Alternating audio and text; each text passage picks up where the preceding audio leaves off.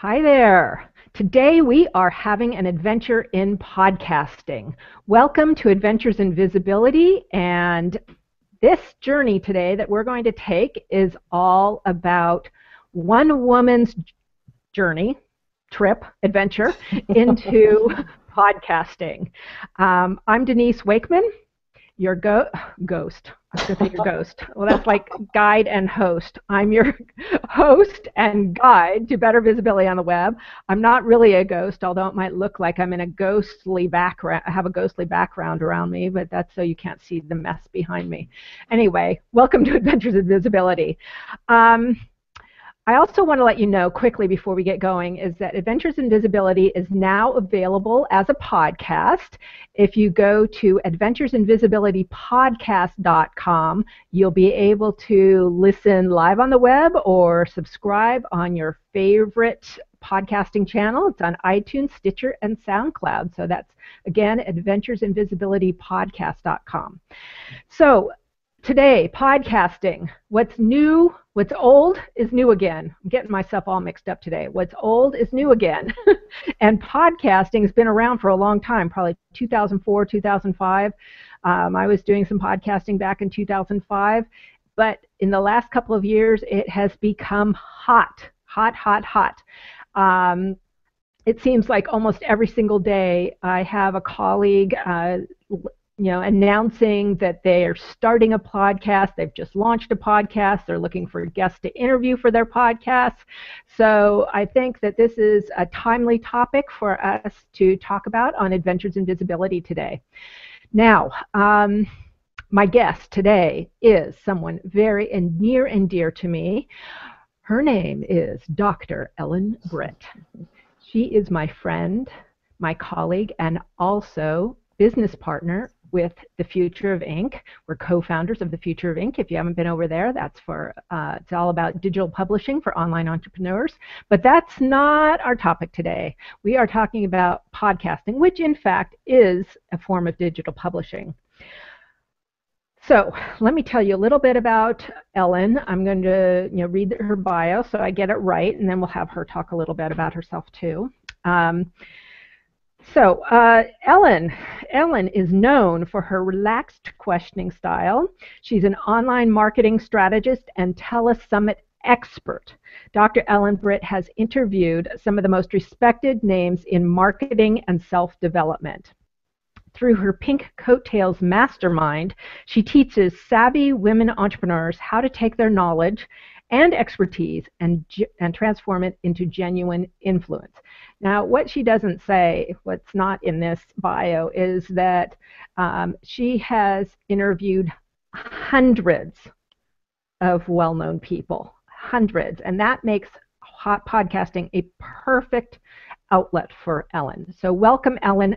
Thank you for being on Adventures in Visibility today. I'm so glad to have you. Uh, thank you, Denise. I am delighted to be here. I've been watching your journey on Adventures in Visibility, and when you asked me to be a guest, I, that was just icing on the cake for me. So thank you for having me. Well, I can't believe I didn't ask you sooner. I didn't think about it.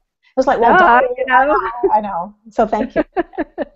well, you're welcome. I'm really glad because we're going to be talking all about your journey into podcasting mm-hmm. um, because you really took a, you're, you've been taking a deep dive into yes. all things podcasting uh, for the last few months.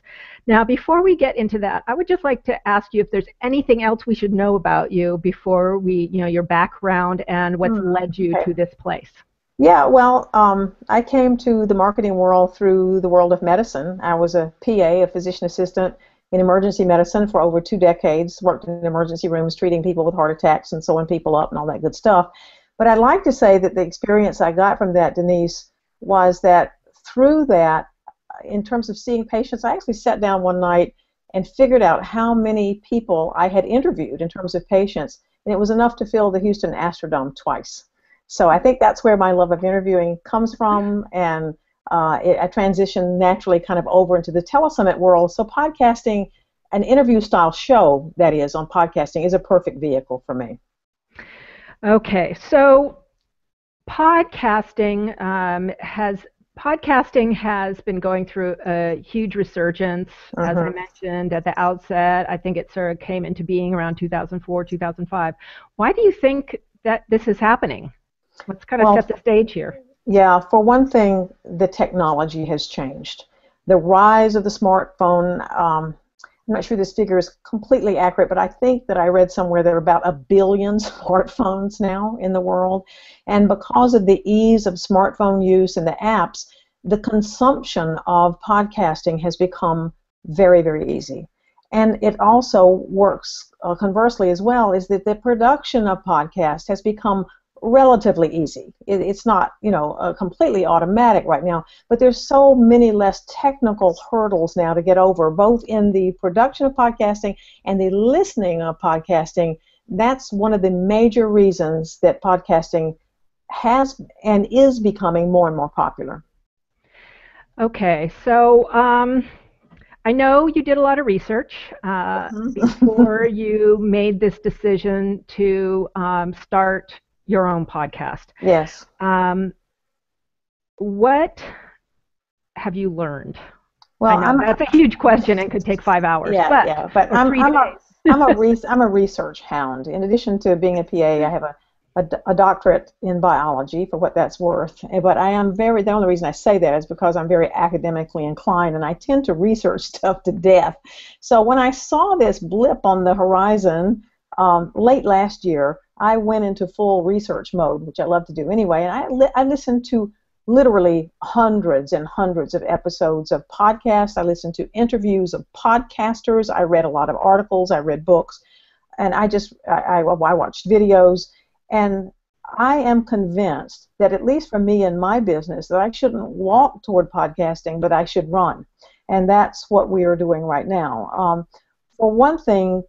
Um, I'm a Mac person, uh, as you well know, Denise, and I um, Mac has really, or Apple has really led, has been at the forefront of the podcasting industry. They've been very, very supportive. I think Android is coming on board slowly, but uh, it's Apple which has driven the podcasting world.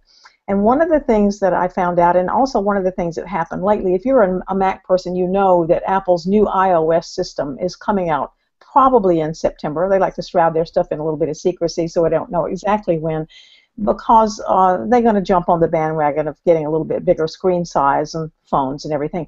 But there's estimated they're they're estimating that they're going to sell 80 million new units of iOS devices in the fourth quarter of this year alone. 80 million. And there's a fairly well substantiated rumor that the podcasting app which you used to have to download from the App Store and put on your phone or other iOS device, is now going to be permanently installed and non deletable on all of those 80 million devices. So there's going to be a whole new audience looking for podcasting. Plus, um, Stitcher, the, the very popular app, and lots of folks who are on the Android pa- platform use Stitcher. I, even though I'm a Mac person, I, I use Stitcher on my iPhone because I like it as a podcast consumption tool. Um, Stitcher is going into many major car brands this fall and into 2015. Also, Google has uh, announced that they're going to put something called Google Play into cars, and Stitcher's jumped on that bandwagon too. So the capability of people consuming these things in their cars and the things that they want when they want it rather than listening to terrestrial radio is huge. So I saw a huge audience expansion. It fit well with the gifts and talents that I have.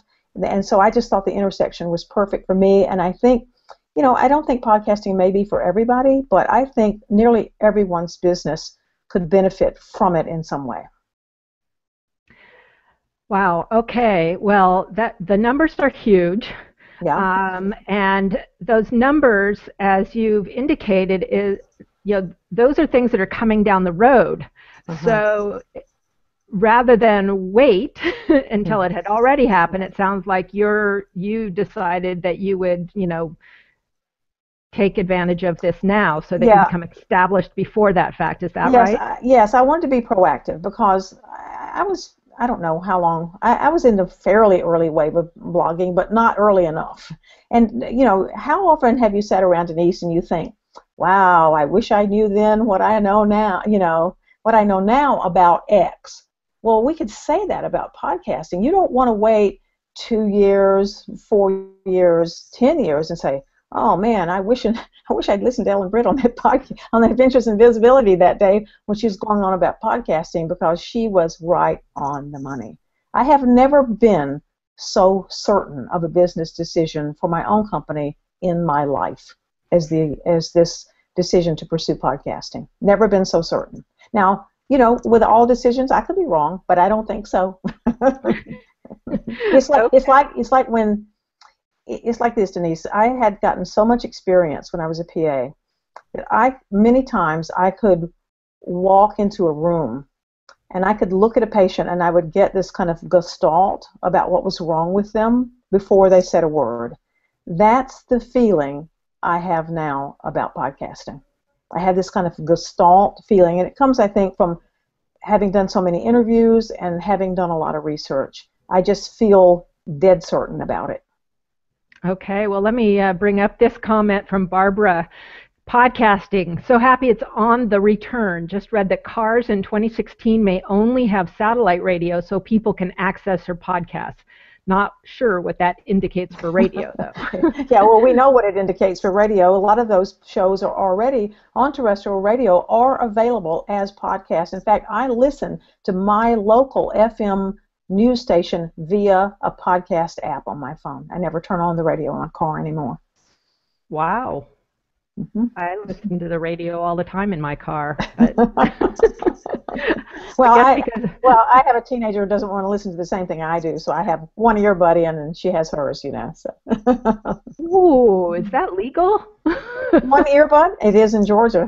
okay, boy, it's not in California. One well, I don't know about one earbud, but one earbud. Okay, okay, we won't. Um, uh, we won't get into the legality. We won't get into legality. That's with, right.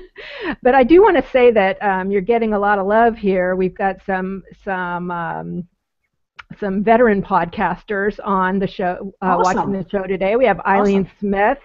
Thank you, Eileen, and thank you for tweeting about the show, Eileen. We have our wonderful friend Kathleen Gage, who we Hi, were Kathleen. talking about in the green room, actually, about That's her. Right. Her ears were burning. yes, we're talking about her podcast, Power yes, of we Profits, and uh, you know she's been going gung ho on podcasting too. So you know this isn't some some random thing going on here. All right, so let me let me get to the next question here. Okay. Um, okay, probably the most important question about what you're doing is what's the name of your podcast and what's it going to be about? Well, you, some people may be wondering why you're having me as a guest on this talk about podcasting when I haven't launched my podcast, uh, which is a legitimate question. But I think that the amount of research that I've done, we've actually recorded nearly 35 interviews already. Um, so I've gotten, you know, got that, feel pretty good about that. And we, we had the technology handled.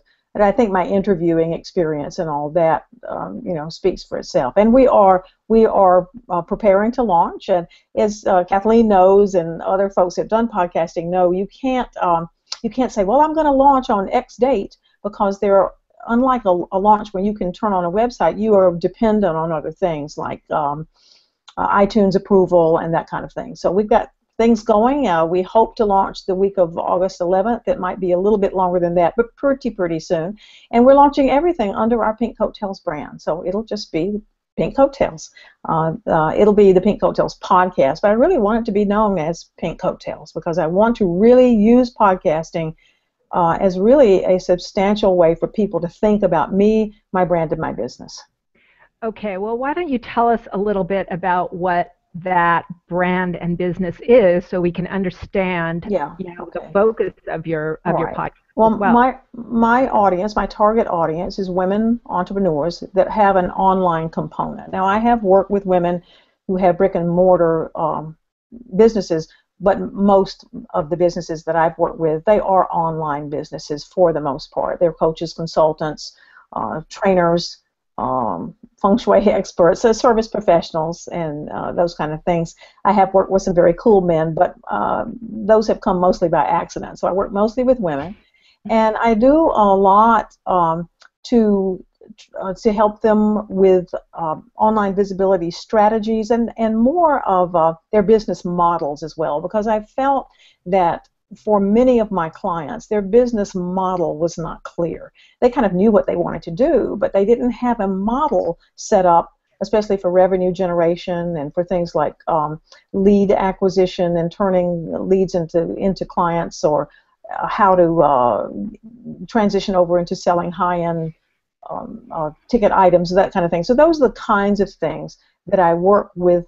Uh, I work with my clients with, and my podcast, of course, is going to be aimed at that same group, the women online entrepreneurs. So if you're starting a podcast, you want to think about talking uh, in your podcast to the audience which you're trying to reach. It doesn't. Now, I could be really interested in something else. I, you know, I might uh, have a hobby on something, and hey, wouldn't it be cool to start a podcast about that? And you can do that, but that's not going to help your business. You want to talk in your podcast to the audience that you're trying to attract as potential customers because you are going to develop a a very um, engaged relationship. Anytime I've used audio in the past, and I use, and you probably remember this, um, the app, the Audioboo app, Denise, which was pretty mm-hmm. popular a couple of years ago. It, it's still around, but I don't, I don't like the changes that they made. But I, I did Audioboo. I guess you could call that a form of podcast, maybe. But th- I did those for about a year, uh, nearly every day.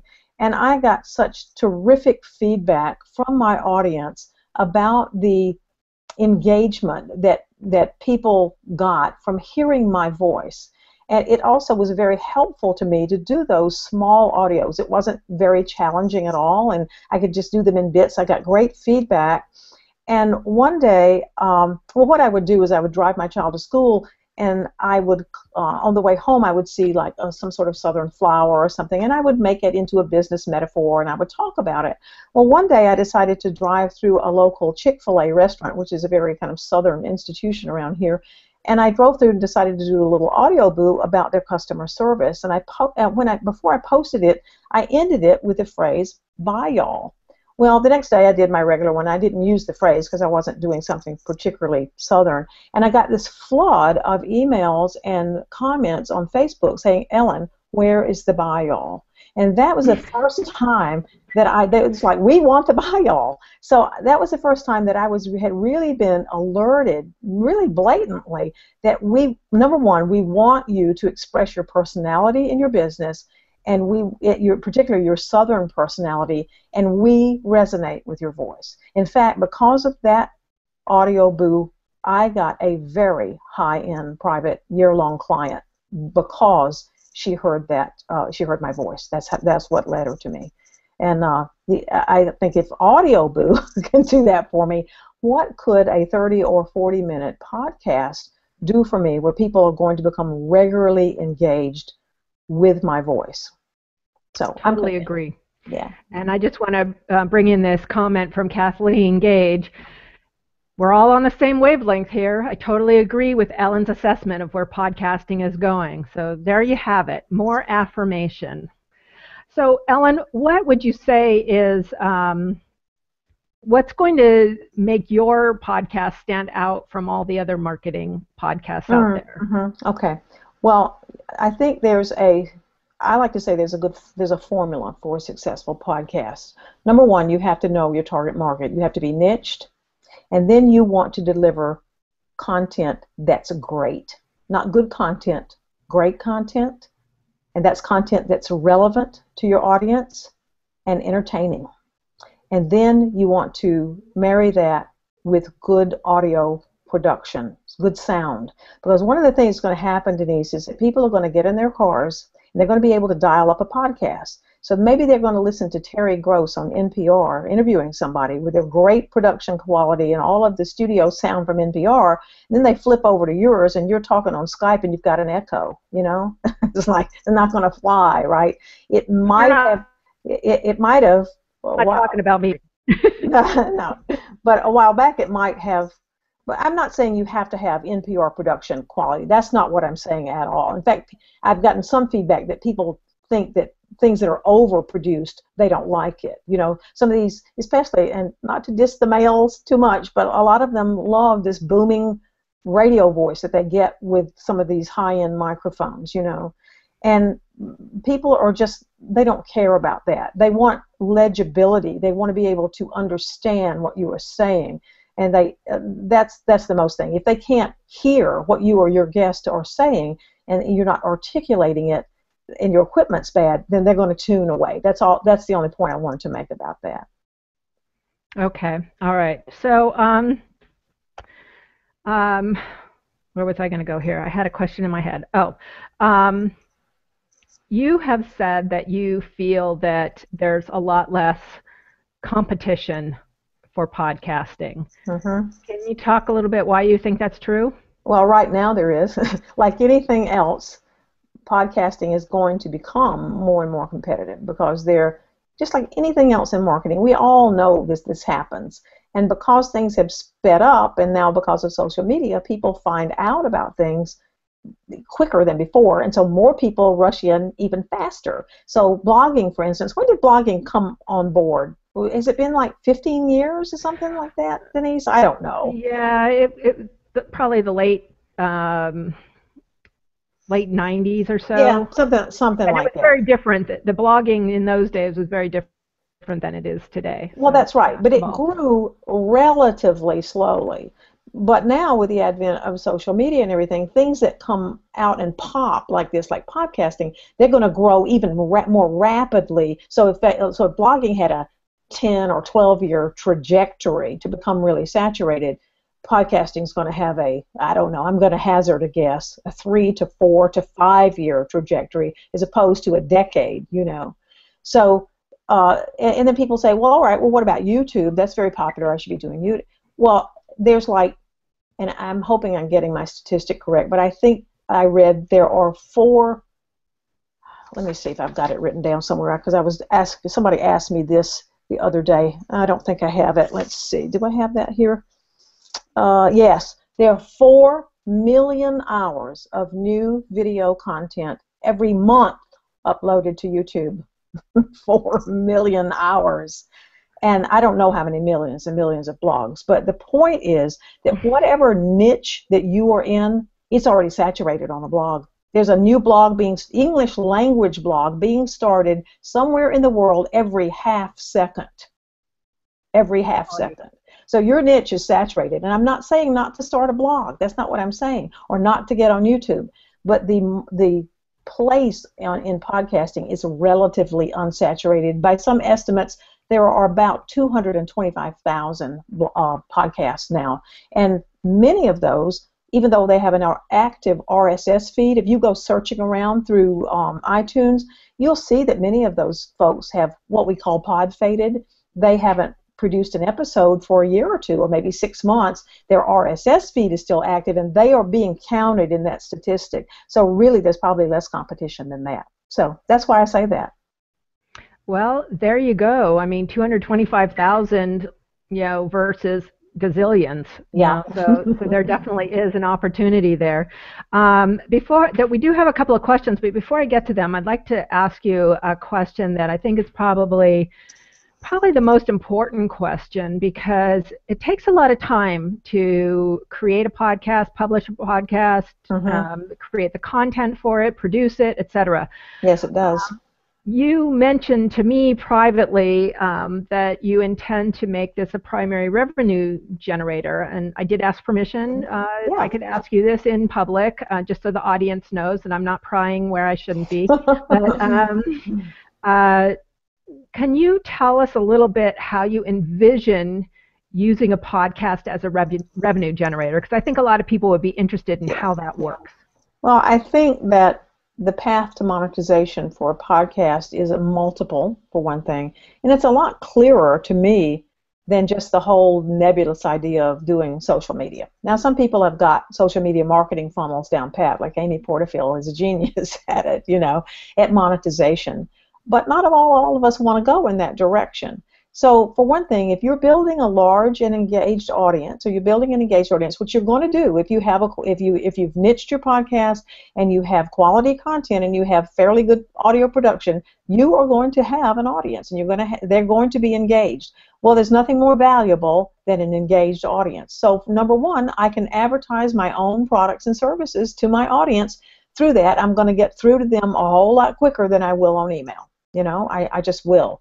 So I've got a number of programs. I have a high-end mastermind. We are experimenting with some um, a couple of uh, virtual networking groups. I've got uh, several things that I can just funnel these folks into right away. So why not advertise my own products and services uh, uh to them at that point? The other thing is, is I can monetize this through affiliate links. If my guests recommend certain things on um, the podcast, then I can link to those things and it might not be everything that they mention, but some of the things, like if they mention books or other products, I can link to those through an affiliate link on the show notes page on the blog. So I can say, well, go over to the show notes for all the links from today's episode. People go over, they click on that. If that takes them to Amazon or wherever it is, and they purchase, then I'll make a commission. That's a pretty straightforward affiliate model that we all use, uh, that many of us use with our blogs, you know, right now.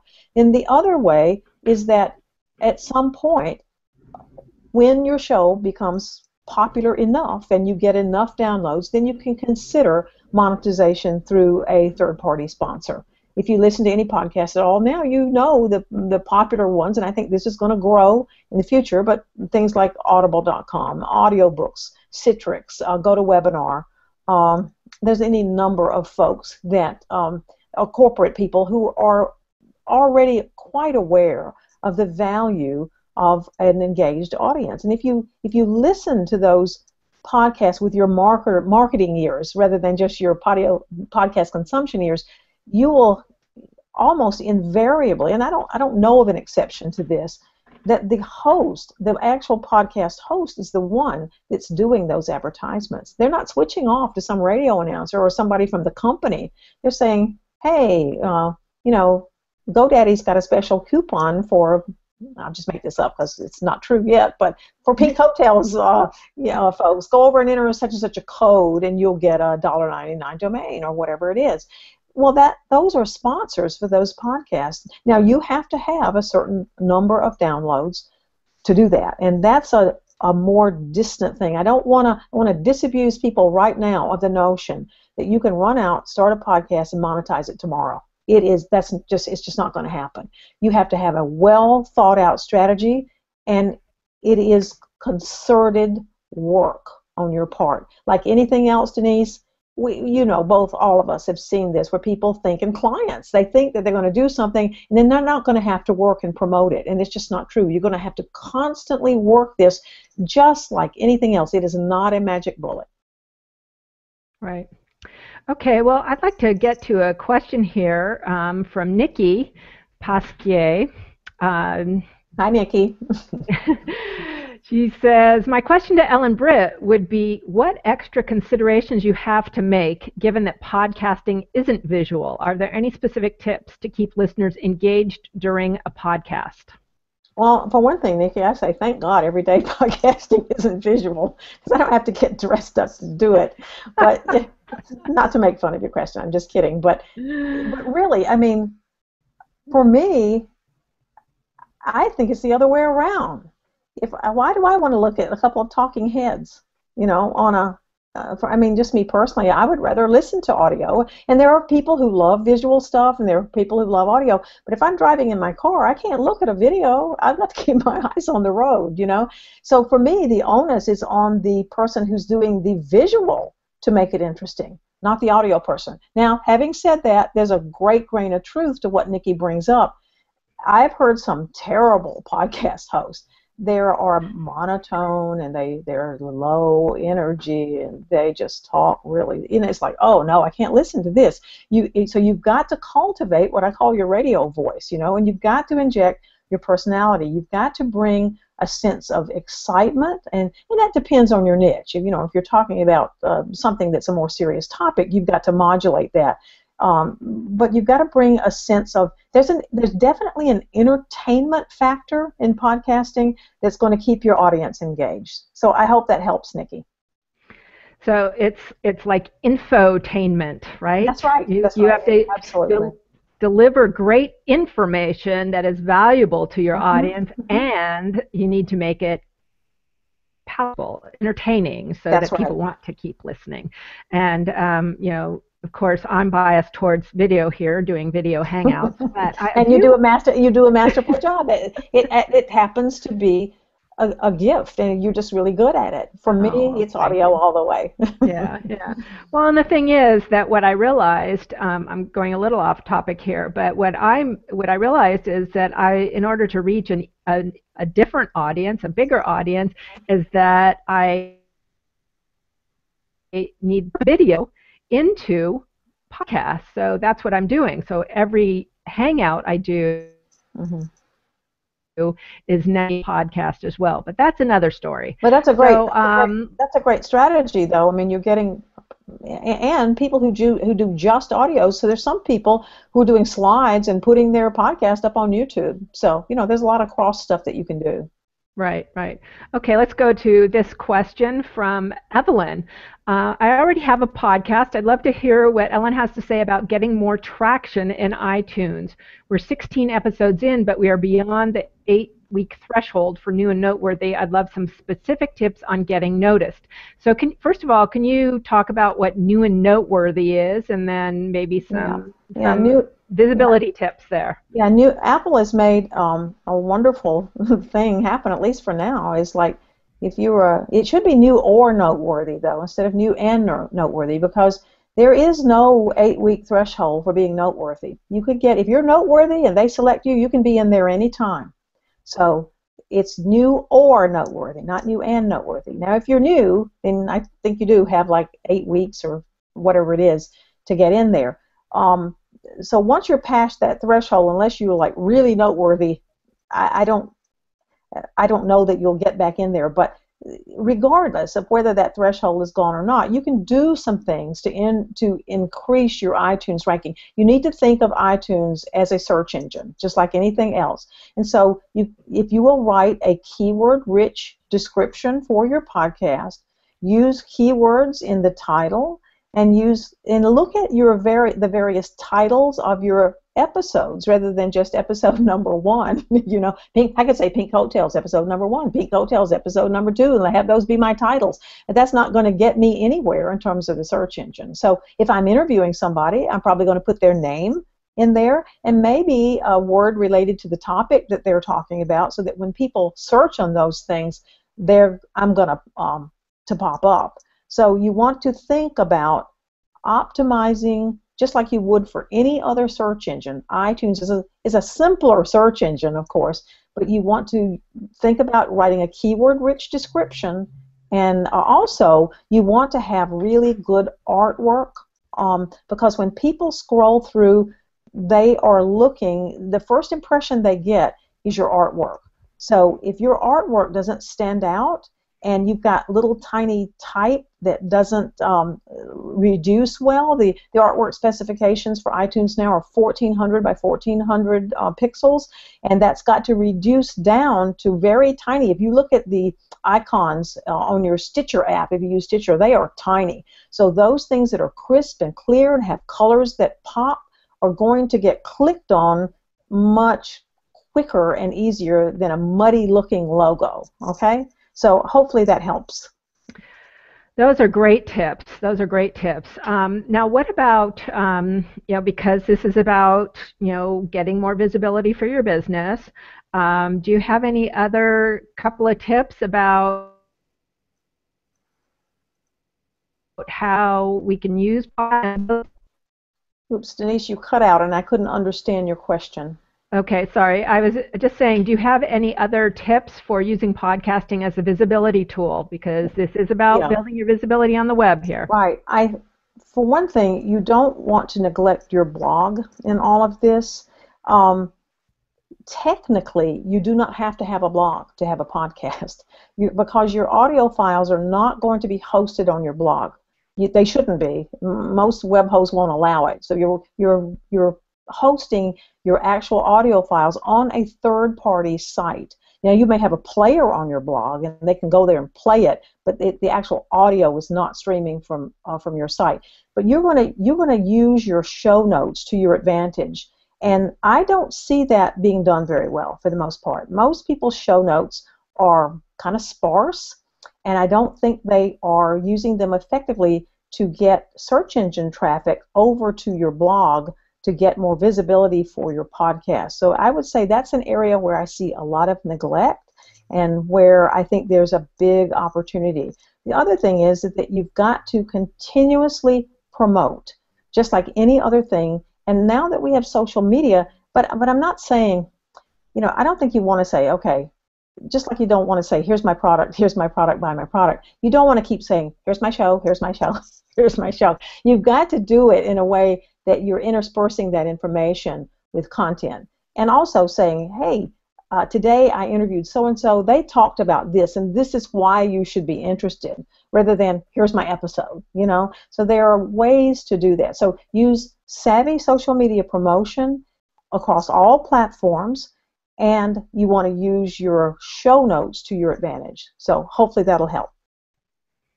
Okay, here's a comment from Elizabeth Cottrell. There's definitely an intimacy to podcasting, the sense of visiting in person with the podcasting host because you've become familiar with your voice, their voice. And that's certainly something I've heard say a lot is that it's like somebody's in your head, and that you know. Um, yeah, and I think one of the reasons people say that, and thank you for that, uh, Elizabeth, is that um, most people consume podcasts via an earbud and so that sense of having somebody's voice literally in your ear contributes to that sense of intimacy. And this that is something that's never going to come across from an article on an article directory. It's never going to come across on a YouTube video uh, or even from your blog. Only in podcasting are you getting that sense of intimacy, and it's something I think that just be can be just greatly advantageous advantageous to your business. Hey, um, not sure what's going on here, but everything crashed for me. There we uh, yeah, I'm here now. I'm on my phone because everything crashed. Ah. and I can't get back online. So I apologize for that. I don't know if we're still live on the um, it says live. I see the live on my um, in the upper right hand corner, Denise. Okay, well then um, let's, uh, since we were getting near the end anyway, um, what I wanted to ask you is, and I feel weird with this so up close to me, but um, on my phone. Hey, it's, an, it's um, an adventure, right? that's right. These are always adventures, and uh, this is an, this is another one. Um, so what I'd like to, a couple of things I want to find out. First of all, where can we find out more about when you're going to launch uh, the Pink Coattails podcast, and where can we get information about that? Okay, you can go to pinkcoattails.com. That's my website. There's a little sidebar sign up list, kind of our first to know list. You could sign up there, and you'll get an email from me saying that uh, we've launched. You can also follow me on uh, Facebook at facebook.com forward slash Ellen Britt Biz, and it will be announced there as well. Uh, or I'm at, at Ellen Britt on Twitter. Okay, perfect. And then the final question that I always want to ask or love to ask my guests is what has been your most memorable adventure? What would you like to share with us? That's really easy. In 1999, I traveled to China